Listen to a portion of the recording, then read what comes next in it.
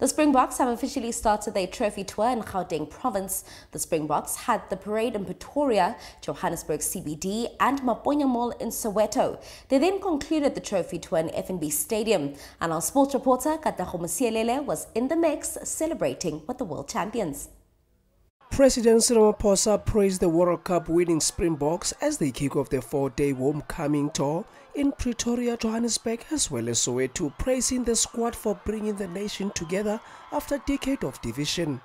Thousands of people were dancing in the street to welcome the Springbok team, supporting a team that had once reviled as an emblem of apartheid but had won the hearts of the country. Maponya Mall in Soweto provided a cultural backdrop for the Springbok to connect with fans, signifying the importance of unity and diversity in the momentous occasion.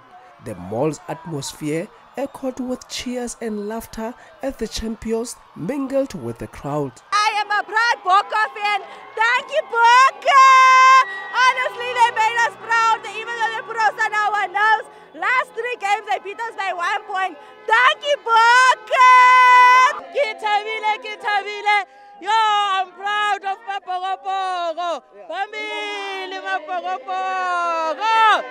As you can see, there's a lot of joy. We are celebrating, we are singing songs that are making sure that we create the beautiful and the memories that we, they did. For Soweto TV Sports News, I am Katlego Mosielele.